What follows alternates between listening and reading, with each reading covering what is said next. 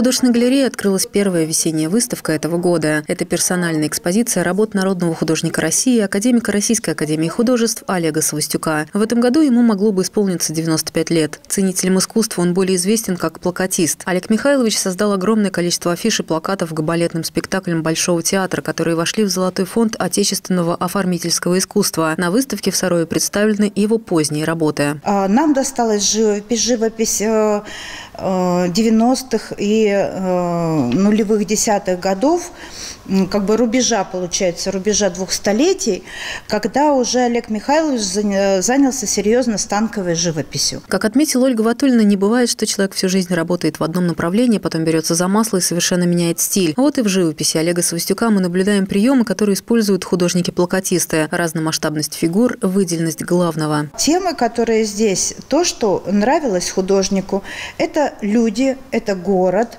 это парковая скульптура, которая превращается у художника в совершенно другие объекты.